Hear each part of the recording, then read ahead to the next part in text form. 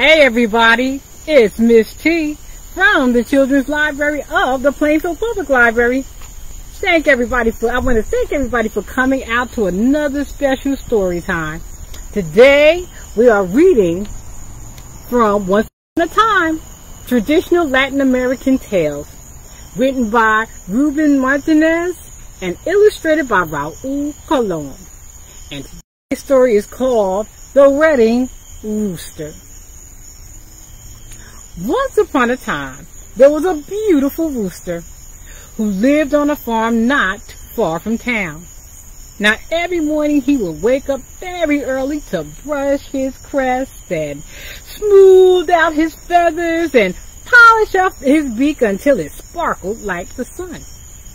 Now on this particular morning he groomed himself more than usual because he was getting ready to go to his uncle Perico's wedding.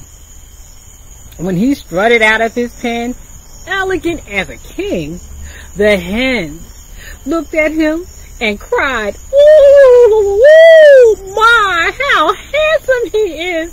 He's so good looking. Ooh,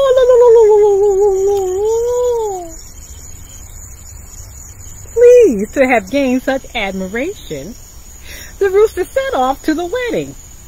Now he hummed as he went along, happy and content, until he spotted a kernel of corn on top of a heap of mud. Tempted, the rooster came to a halt, but he didn't want to get himself dirty. What should I do, he wondered. If I don't peck at it, I'll lose the kernel of corn. But if I do peck at it, I'll get my beak dirty and I won't be able to go to Uncle Perico's wedding. What should I do? To peck or not to peck? The little kernel of corn looked so very sweet that the rooster decided to peck at it and ended up dirtying his beak. Upset, he strutted over to the side of the road and without even bothering to greet the sun growing there, said, grass, help clean me up.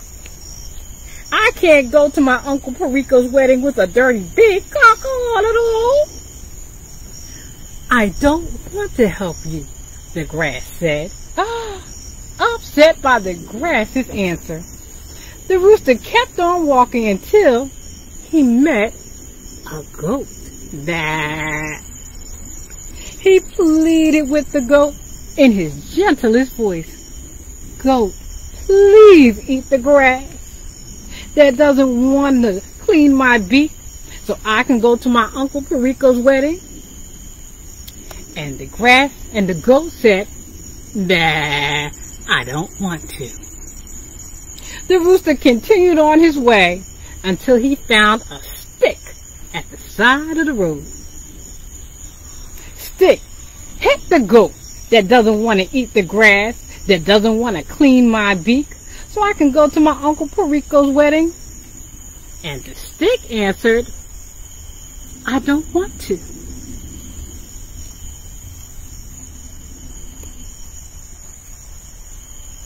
The rooster continued on his way until he came upon a fire.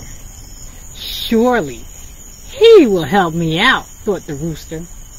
Fire, burn that stick that doesn't want to hit the goat, that doesn't want to eat the grass, that doesn't want to clean my beak so I can go to my Uncle Perico's wedding, he said. And Fire answered, I don't want to. Furious, the rooster turned around and continued on his way until he came upon a large stream of crystal clear water. Water, please put out that fire that doesn't want to burn the stick, that doesn't want to hit the goat, that doesn't want to eat the grass, that doesn't want to clean my beak so I can go to my Uncle Perico's wedding, he said. But the water answered, I don't want to. Ah, the rooster was very angry now. He couldn't understand why nobody wanted to do what he asked them to do.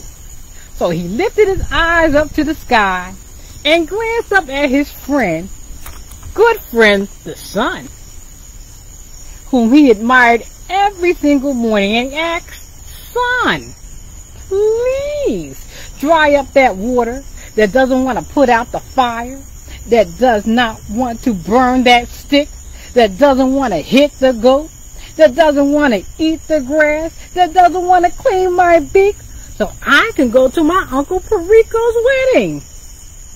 Pleased to be of help to his friend, the rooster, the sun replied, uh-huh, of course. Ah. At that very moment, the water nervous, the water nervously said, excuse me, I'll put out the fire. And the fire said, oh, oh, excuse me, I'll burn the stick. And the stick said, excuse me, I'll hit the goat. And the goat said, nah, I'll eat the grass. And the grass said, oh, how clean your beak. And that's how the grass cleaned the. And he was finally able to attend his Uncle Perico's wedding. And that, my friends, is the end. And once again, it comes from the book Once Upon a Time, Traditional Latin American Tales, written by Ruben Martinez and illustrated by Raul Colon.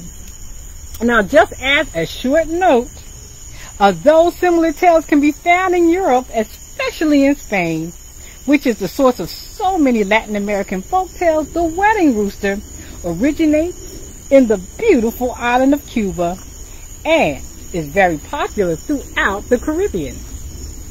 The rooster is very is a very important animal in the countryside since he is in charge of waking everybody up to go to work or to go to school. Now this may explain why so many roosters are so vain. And like this one in this amusing story, hmm, sometimes just a bit bossy. So if you're a vain rooster, hmm, cock-a-doodle-doo, this story was for you. Thank you for coming out and enjoying this story. Please be safe. And if you need our help, we are open. You can call us or reach us on the website if you have any questions or if you have any um, story ideas that you would like to share. So this is Miss T once again from the Children's Library of the Plainfield Public Library. Cock-a-doodle-doo! And I, from our vain rooster friends, have a good school year. Be safe. And until we read again, so long for now.